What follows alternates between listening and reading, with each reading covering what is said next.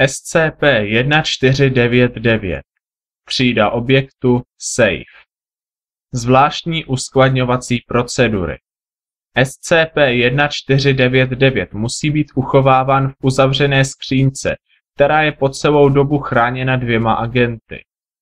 Testování zahrnující SCP-1499 vyžaduje povolení pracovníků čtvrté třídy.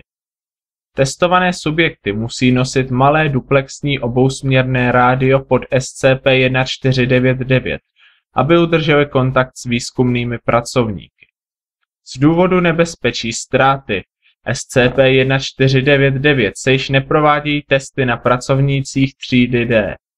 Pokud by zkušební subjekty zasáhlo jakékoliv nebezpečí, musí okamžitě odstranit SCP-1499 z hlavy. Popis SCP-1499 je sovětská plynová maska GP5. Zkouška těsnosti provedená na objektu prokazuje, že objekt si zachovává původní funkcionalitu. Účinky SCP-1499 se dostaví po nasazení SCP-1499 na hlavu.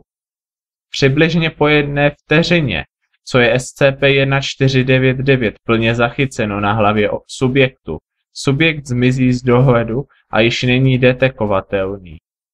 Předmět v tomto okamžiku nenaznačuje žádný pohyb.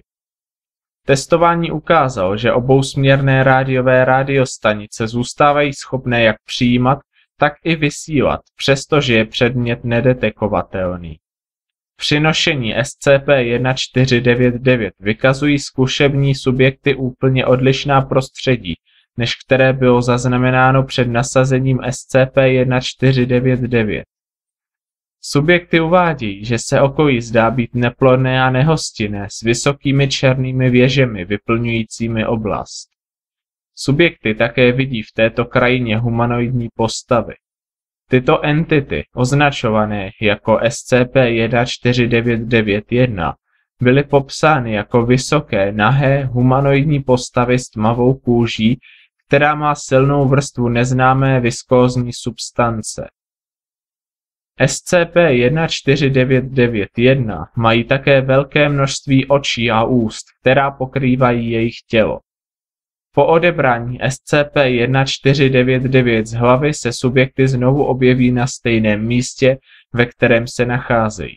Další informace naleznete v tématu Testovací protokol SCP-1499.